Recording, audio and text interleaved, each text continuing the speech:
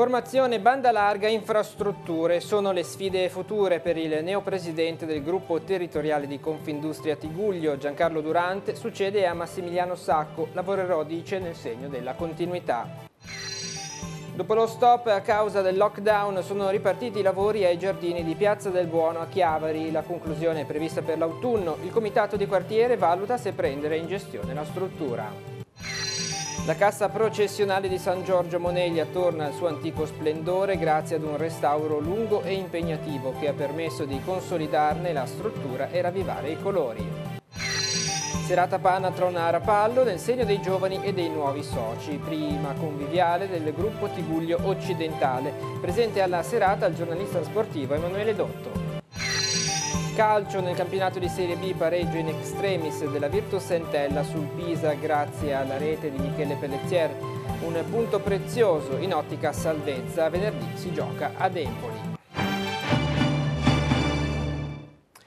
Buongiorno ai telespettatori di Tigugli oggi. Giancarlo Durante è stato nominato nuovo presidente del gruppo territoriale di Confindustria. Succede a Massimiliano Sacco, al suo fianco nel direttivo la vicepresidente Vittoria Bixio, legale rappresentante di Viglia Ilia a Sestri Levante. Durante intende guidare il gruppo nel segno della continuità e in agenda mette banda larga per l'entroterra, il tunnel della Fontana Buona e formazione tra i giovani. Lo abbiamo intervistato. Sarà un biennio di sfide quello che attende il neopresidente di Confindustria Tiguglio, Giancarlo Durante, che promette continuità con i precedenti mandati di Massimiliano Sacco. L'emergenza Covid, spiega, ha segnato molte aziende del territorio e il futuro non appare roseo. Stiamo vedendo un tentativo di ripresa, però anche i gruppi, sia automobilistici, sia quelli dei produttori automatici che mi riguardano poi direttamente perché la mia azienda fornisce quel settore, navigano a vista loro per primi, per cui ordinativi frammentari fatti di settimana in settimana senza avere un, una visione di prospettiva. Già c'è una riduzione fortissima sui fatturati rispetto all'anno precedente, ma io temo che l'autunno per tante aziende possa diventare veramente critico da un punto di vista della liquidità. I provvedimenti del governo, in particolare il decreto liquidità, ad oggi sono carenti, prosegue il neopresidente degli industriali, soprattutto dal punto di vista delle scadenze, delle garanzie e della burocrazia. Per le piccole eh, aziende abbiamo una garanzia di Stato al 90% ed una scadenza a sei anni. Lei capisce bene che una scadenza a sei anni per un'impresa è un tempo brevissimo e spesso in questo momento vengono richieste anche delle somme importanti che difficilmente possono essere rimborsate in periodi così brevi. Giancarlo Durante lavorerà sulla formazione, sul rapporto con le scuole, sui convegni e sulle novità infrastrutturali per l'entroterra. La banda larga deve essere estesa a tutto l'entroterra, a tutte le valli che poi sono i bacini dove ci sono le aziende, un grande numero di aziende che hanno bisogno di comunicare in maniera efficiente. Poi sono le infrastrutture intese come strade, come viabilità, come tunnel della Fontana Buona. E a proposito di infrastrutture, continuano i disagi al traffico autostradale, il nodo autostradale di Genova eh, è stato paralizzato anche nella, di, nella mattinata di oggi, notizia che andiamo a leggere sul sito di Ansa Liguria, il traffico congestionato in A7 e in A10 dove si registrano rispettivamente 14 e 9 km di coda. In A7 in direzione Milano il traffico è incolonnato tra Genova Bolzaneto e Ronco Scrivia a causa della chiusura del tratto per il rifacimento dell'asfalto. In A10 la coda di 9 km è tra Genova Aeroporto e il bivio a 10 e 26 di Traforo in direzione Ventimiglia, questo sempre per lavori. E torniamo sul nostro territorio. Dopo la sospensione forzata provocata dal lockdown ha ripreso la sua attività il cantiere per la riqualificazione dei giardini di Piazza del Buono a Chiavari. In queste ore gli operai stanno realizzando il tracciato in cemento di quelli che saranno i vialetti del parco. Completato il piano del campo da basket e l'impianto di illuminazione, i lavori si concentrano ora sul nuovo parco giochi e su un nuovo campo multifunzionale. La conclusione dei lavori è prevista per l'autunno ma abbiamo fatto il punto con il sindaco sono in corso in questi giorni tutti i lavori di sfalciatura ed è in corso la gettata del, del, nuovo, campo, del nuovo campo polivalente e anche di tutti i percorsi ciclopedonali de, della piazza. Si tratta di un intervento, ho fatto anche un incontro eh, settimana scorsa con i quartieri residenti. Eh, adesso a breve mh, stanzieremo le risorse per, fare, per ampliare il parco giochi per i bambini in via Canale e anche per completare il verde. Si era parlato anche degli spogliatoi, dei locali sotto la superficie, anche su quello c'era il problema delle risorse. Che decisione avete preso? C'è il problema delle risorse, ma più che altro c'è anche un problema di sicurezza, in quanto sono locali non accessibili ai disabili e che possono creare problemi di, di sicurezza. Allora abbiamo deciso lì di, di, coprire e di creare i bagni in, sulla piazza. Eh, abbiamo circa 400 metri che sistemeremo adesso con ghiaia livellato, con tutti i allacci fognari, eccetera. E eh, abbiamo fatto, come dicevo, un incontro con i residenti, con il quartiere del comitato di Ride le Feste. Eh, se loro si sentono in grado di gestire un, un piccolo circolo sulla piazza, siamo disposti a creare la struttura e darla in gestione, come è successo già in altri centri di aggregazione della città. Altrimenti eh, l'idea è quella di mettere un chiosco con servizi pubblici per fare una piazza dove fare un'attività commerciale con feste tipo il Parco Talassano. Che tempi ci saranno adesso per la conclusione e il proseguo dei lavori? Allora, i lavori attuali dovrebbero finire in circa un paio di mesi. Nel frattempo stiamo trovando le risorse per completare, come dicevo prima, il parco giochi che vogliamo farlo veramente eh, di qualità, però queste cose vanno di pari passo.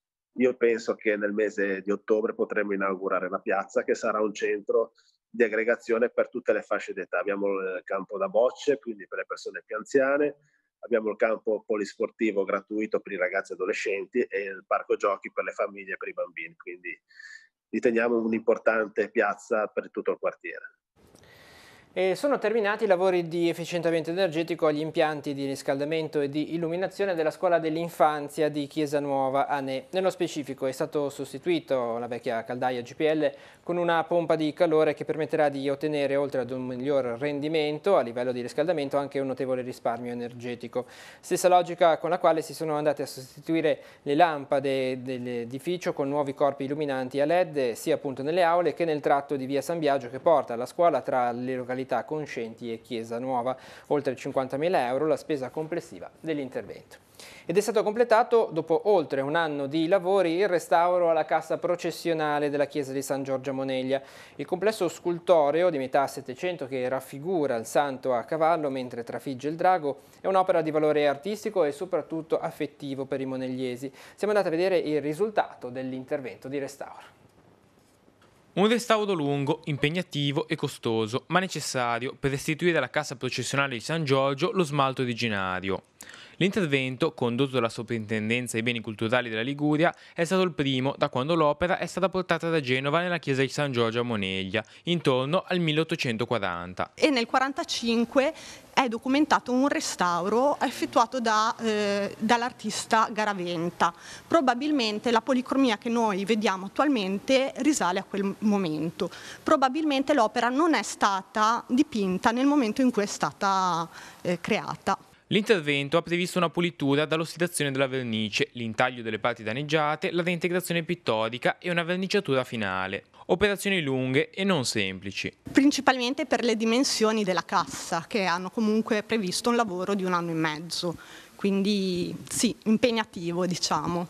Dal punto di vista strutturale l'opera diciamo comunque ben bilanciata e ben solida, comunque vedendola così da, da fuori è molto dinamica. L'opera è stata ben eseguita sia da un punto di vista eh, scultoreo eh, sia da un punto di vista costruttivo. Eh, tutte le parti in legno sono state assemblate in più, in più pezzi e devo dire che è anche sana come, come, come struttura. Il restauro è costato 39.000 euro, la metà reperiti attraverso un bando che ha finanziato attraverso la Compagnia di San Paolo circa la metà del costo totale. Il resto è stato poi messo dalla parrocchia. La parrocchia ha garantito, poi la confraternita per esempio ha fatto delle cene, il ricavato è stato, è stato richiesto ai singoli parrocchiani di contribuire Uno sforzo consistente ma necessario per un'opera a cui i parrocchiani di San Giorgio e i monegliesi in generale sono molto legati. Oltre al valore affettivo, la cassa infatti ha anche un discreto valore artistico. L'opera del 1750 è di Pietro Galeano, uno dei più bravi allievi del Maragliano. Penso che tutti i monegliesi, anche i nostri turisti più affezionati, abbiano visto eh, almeno una volta nella vita questa bellissima cassa processionale e eh, credo ne siano rimasti tutti piacevolmente colpiti e, e quindi è un'opera veramente di, di, grande valore. La gente vedo che è molto legata eh, a San Giorgio e in modo particolare anche a questa cassa processionale. Si è svolta di recente la prima conviviale del nuovo direttivo del Panatron Rapallo Tiguglio Occidentale che unisce i comuni di Santa Margherita Ligure, Zoagli, Rapallo e Portofino.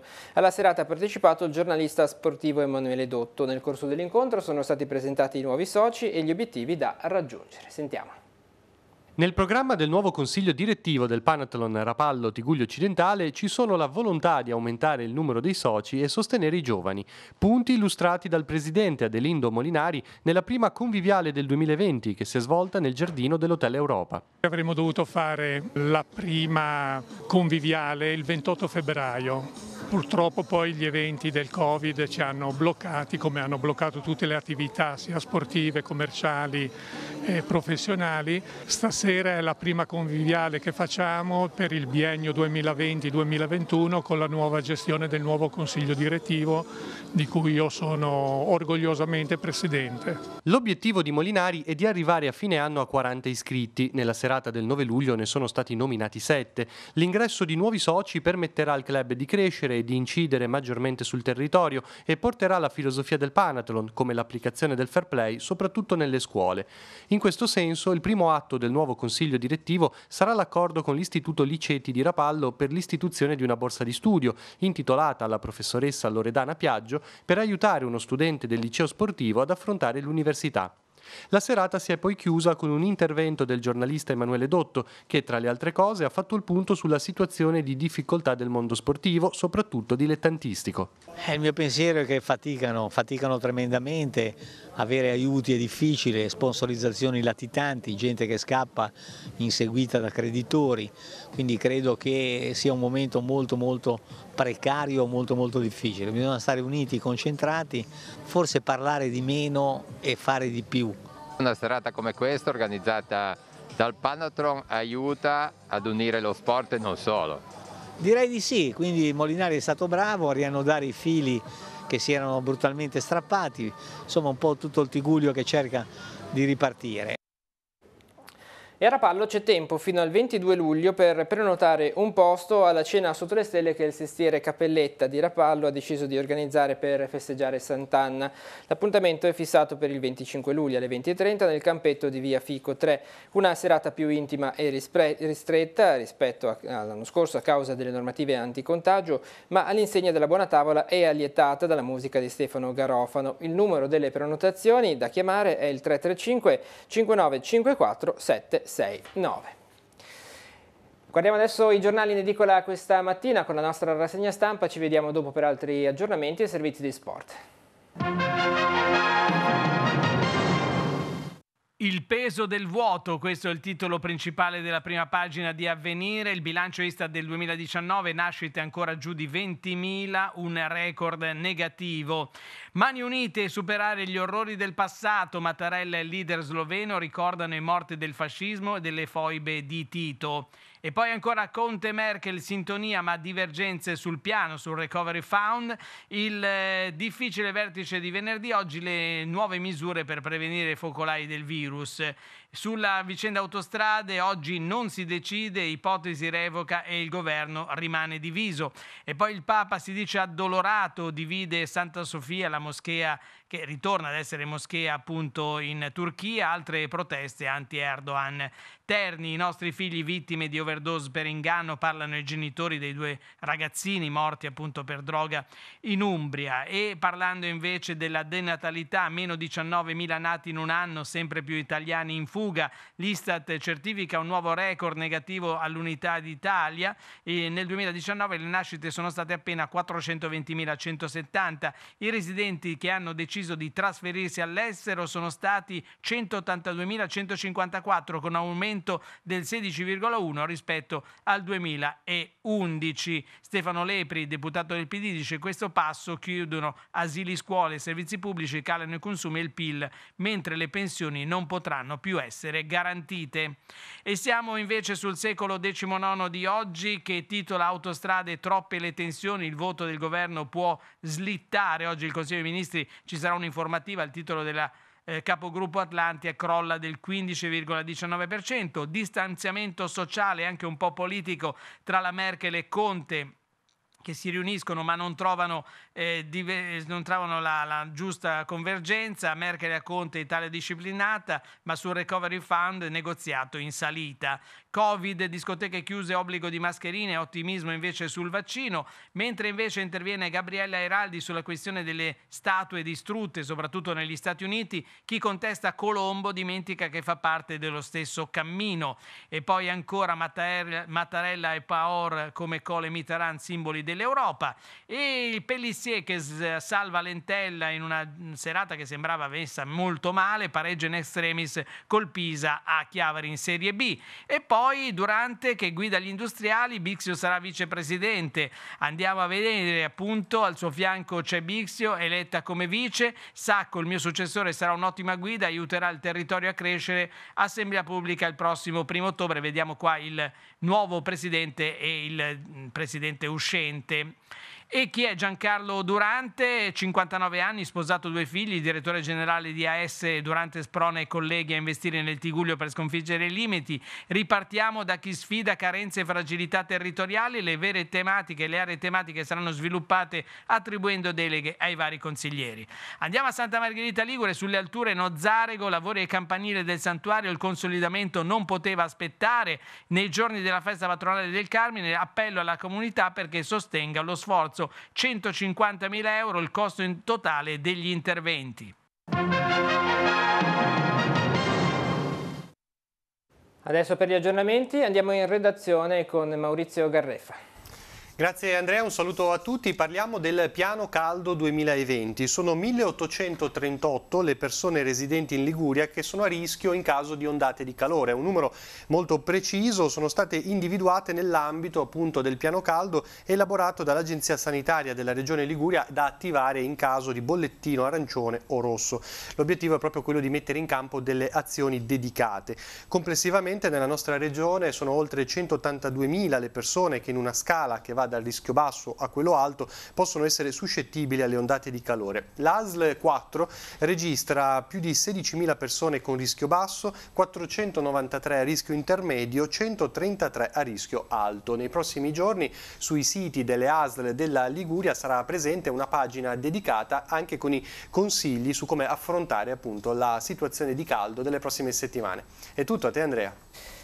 Andiamo al calcio adesso per la Serie B. La Virtusentella ciuffa in extremis il pareggio al Comunale di Chiavari contro il Pisa. I biancocelesti in svantaggio dal nono minuto di, di gioco con la rete di Luca Vido riescono ad agguantare il punto solo al 94esimo grazie al gol di Michele Pellizzer. I chiavaresi che si assestano a 42 punti in classifica giocheranno nuovamente venerdì alle 21 ad Empoli. Sentiamo i commenti a fine gara.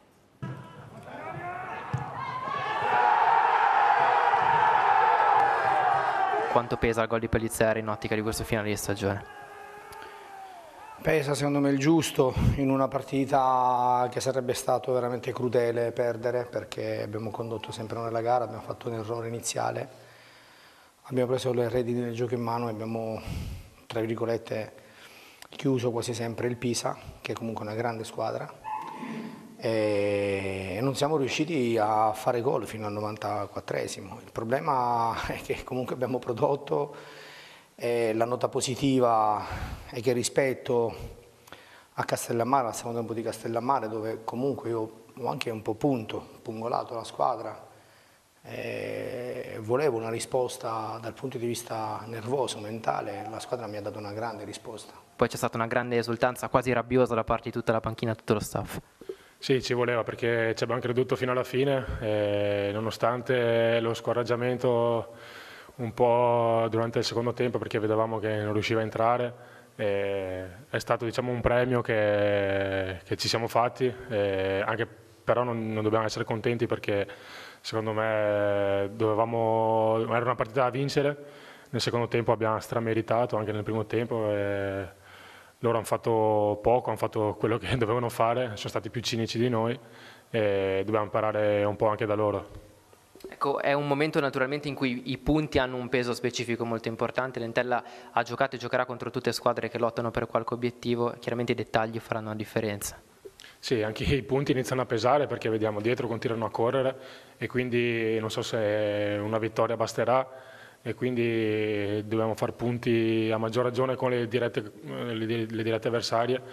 Ora pensiamo all'Empoli, poi arriverà il Perugia qui in casa, quindi sono tutti scontri importanti e dobbiamo metterci in testa che ci dobbiamo mettere un po' più di cattiveria magari in ogni palla per portare a casa questa salvezza. Si conclude così questa edizione di Tiguli oggi, l'informazione torna questa sera alle 19.15, continua sul nostro sito teleradiopace.com e il canale 187 Telepace News. Grazie per essere stati con noi e buon proseguimento di giornata.